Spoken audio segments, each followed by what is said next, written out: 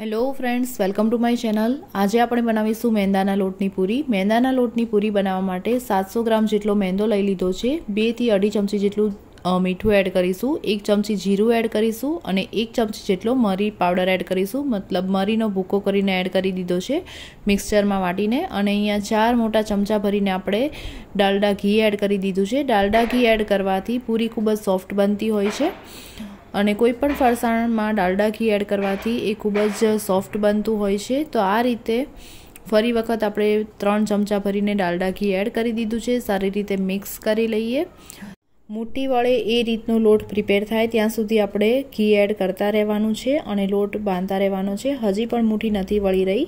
તો હજી પણ આપણે બે મોટા ચમચા ભરીને ડાલડા ઘી એડ કરી દીધું છે અને ફરીવાર મિક્સ કરી લઈએ. અહીંયા તમે જોઈ શકો છો મુઠ્ઠી વળી રહી છે. સારી રીતે લોટ અને ઘી મિક્સ થઈ ગયું છે. તો હવે અહીંયા ગરમ પાણી મેં કરી લીધું છે. નવ શેકું પાણી મેં કર્યું છે. એમાં થોડું થોડું નવ શેકું પાણી એડ કરતા જઈશું અને લોટ બાંધતા જઈશું. અને આ જે લોટ છે એને એકદમ કઠણ બાંધીશું. આમ કરવાથી પૂરી એકદમ સોફ્ટ બનશે. તો તમે જોઈ શકો છો, વધારે પડતું પાણી હું અહીંયા એડ નથી કરી રહી. થોડું થોડું જ પાણી એડ કરતા જઈશું અને લોટ બાંધતા જઈશું.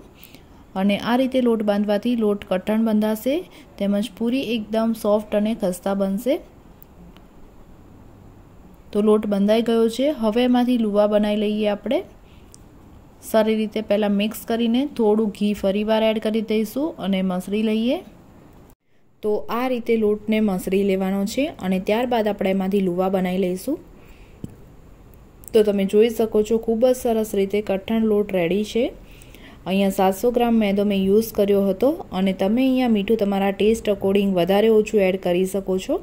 અહીંયા મેં બેથી અઢી ચમચી મીઠું એડ કર્યું છે. તમે ઈચ્છો તો વધારે મીઠું પણ એડ કરી શકો છો.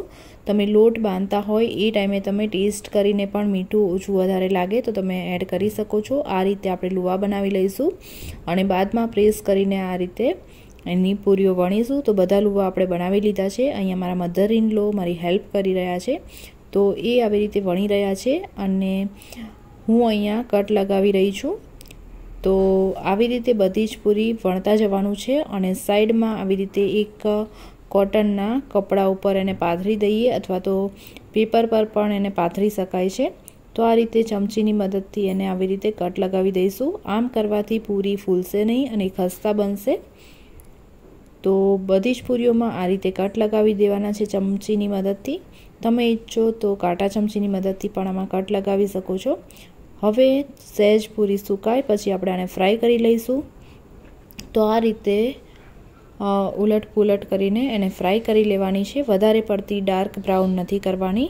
આવી રીતે લાઇટ કલર આવી જાય એટલે આપણે એને કાઢી લઈએ. તો ફ્રેન્ડ્સ તમને આ વીડિયો કેવો લાગ્યો? કમેન્ટ કરીને જરૂરથી જણાવજો. જો તમને આ વીડિયો પસંદ આવ્યો હોય તો વિડીયોને લાઇક શેર કરો અને હજી પણ તમે અમારી ચેનલ પર નવા હો તો ચેનલને સબસ્ક્રાઈબ કરો અને બે લાઇકનને પ્રેસ કરો જેથી આવાવાળા બધા જ નવા વિડીયોના નોટિફિકેશન્સ તમને મળી રહે અને તમે અમારો લેટેસ્ટ વીડિયો સૌથી પહેલાં વોચ કરી શકો. તો આ રીતે બધી જ ખસ્તા પૂરી આપણી મેદાના લોટની પૂરી રેડી છે. તમે જોઈ શકો છો, ખૂબ જ સરસ લુક છે, જેવી બજારમાં મળે, બિલકુલ એવી જ પૂરી ઘરે બનાવી શકો છો. અને ખાસ કરીને ફેસ્ટિવલ્સમાં આ બધી વાનગીઓ બનાવવામાં આવતી હોય છે. જો તમે હજી સુધી આ વાન પૂરીને ટ્રાય નથી કરી, તો એક વખત જરૂરથી ટ્રાય કરજો. તમને જરૂરથી પસંદ આવશે. Thank you thank you for watching